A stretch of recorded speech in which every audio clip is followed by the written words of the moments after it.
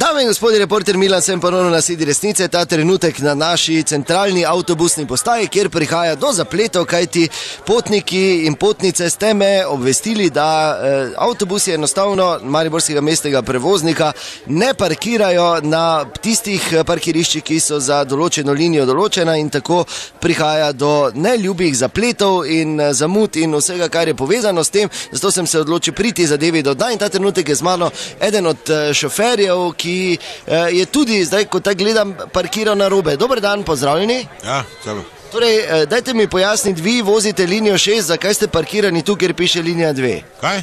Je tu ste parkirani, kjer piše, da je dvojka. Parkirajo. Ja, zakaj, mislim, mi parkiramo, kje je fraj, zakaj ne razumem? Ja, pa določeno je, ne, kje morate parkirati, vi šestka, kje. Kaj to si ti določen? Ja, nisem, ja, samo tu piše, tako zgoraj. Na ta, ja, pač mi parkiramo, kje je fraj, ne moramo jaz začeti. Ja, en parkira na robe, pa se vse poruši, kaj naj jaz zdaj stojim tam? Jaz bom nekaj postaviti, se pa te se vidi, če je tabla na avtobusu. Ja, ampak potniki imajo problem, gospod. Pot, kiri potniki? Ja, pa ne Vaši. vidijo malo table, kaj pa miš ti, da jaz delam? Trgovini. Ko me baba pošle veliko trgovino po neke makarone, kaj miš da jaz zdaj kaj? Stojim na blagajni pa se jočem, jaz grem iskat makarone, pa uro, uro. Kaj začem? Kaj da zdaj naj kam in naj hodim po njih domov? Počakajte, gospod na Koroškem, prišel z avtobusom, bočno parkiral. Ja, pizdo, no, kaj te zdaj? Ja, pa gospod, to ni vredno. Ja, kak, kak ni vredo?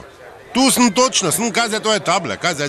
To sem tako že zdavno rekel. Mi bi mogli imeti take v tujini. Prepelješ pa makar na 18, čeprav si dvojka, pa pol pač tablo menjaš. Veš, kaj ti hočem reči? Ja, no, torej, pol bojo pa skakali, ko se bodo table menjavale. Pa. Pa naj se malo gibajo, kaj te zdaj, zakaj pa tudi Maribor tako mali ne peš hodijo? To je zdravo. Tako je mogli malo se gibati, vsi skup.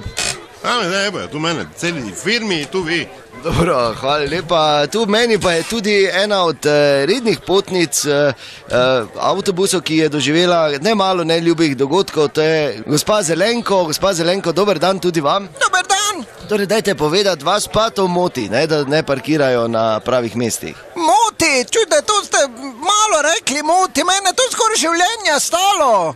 Jaz sem se prejšnji teden tu sem najprej eno uro pa pol čakala na svoj avtobus, da me pelje na Dobravo in jaz sedim lepo, on vozi, vozi, jaz že gledam na uro, ker vem, da bi že mogla tam biti, on še kar vozi, vozi. In pol se meni čudno zdelo, pa sem po nekaj cajta dvignila roko, sem rekla halo, pa nič, pa sem malo počakala, pa še enkrat halo, pa še nič. Pa še enkrat halo? In so se vsi obrnili v avtobusu, pa so mi naredili halo, nazaj, kot da so bili vsi zmenjeni. In pol naenkrat se avtobus stavi, pa reče gospod, tak, zadnja postaja Kidričevo, jaz pa dobenega papira zraven.